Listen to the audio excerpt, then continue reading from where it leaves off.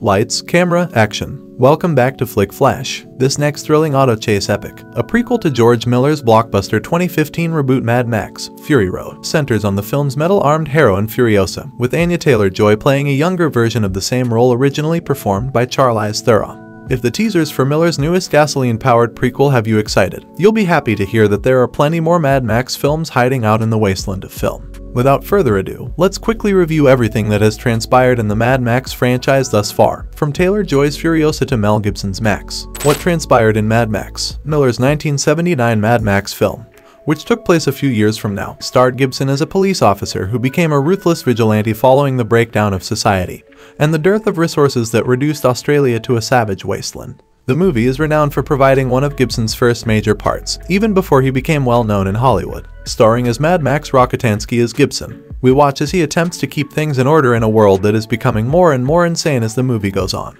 Max sets off on a brief journey with his wife and little child right when he thinks everything is gone. Along the way, they come across a road gang led by a figure by the name of Toecutter, who kidnaps and kills Max's family. With the help of his supercharged black V8 Pursuit special automobile, Max spends the rest of the film tracking down Toecutter and his crew in order to get revenge for the murders of his family. These events lay the stage for a revenge mission. What transpired in Mad Max 2? In Mad Max 2, or the Road Warrior as it was subsequently called in certain regions, such as America, Max is tasked with defending a quiet settlement from a vicious motor gang. Miller's second picture has elements of a cinematic western, even if Max is still troubled by his family's murder in the first part. Max gradually rediscovers empathy and compassion while assisting in the protection of the settlers who are innocent.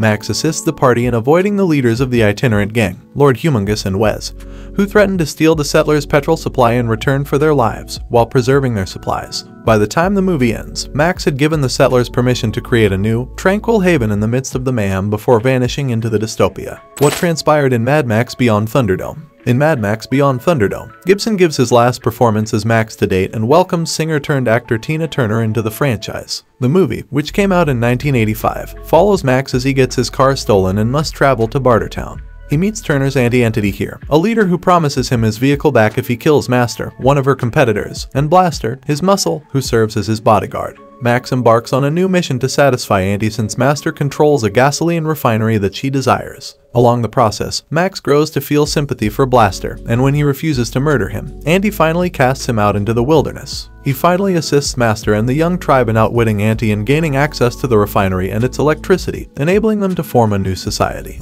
It is here that he meets a group of young survivors who are seeking for a legendary oasis. Max makes an attempt to join them, but he declines, proving that he is a lone road warrior. How did Mad Max Fury Road end? Miller's Mad Max Fury Road, which was released 30 years after Beyond Thunderdome, is a reboot of the Mad Max franchise, with Tom Hardy replacing Gibson in the title character. It also introduced us to Imperator Furiosa, played by Theron, a desolate outcast who needs Max's help to free a group of women who are being held captive by a warlord. Immortan Joe, the enemy warlord, is in charge of many of the resources that the people living in his citadel depend on. Joe uses every ounce of might and several armored vehicles to find Furiosa and bring his imprisoned wives back to freedom after learning that she is trying to smuggle them. Hardy's Max is troubled by the people he has let go of and sees a chance for atonement in aiding Furiosa in her struggle with Joe. Even if they eventually succeed, Max once more chooses to live alone rather than move in with them in their new paradise house. Thank you once again for being a part of Flick Flash. Until next time, keep watching, keep exploring, and keep that movie and TV magic alive. Don't forget to subscribe, like, and stay tuned for more exciting recaps. This is Flick Flash, signing off.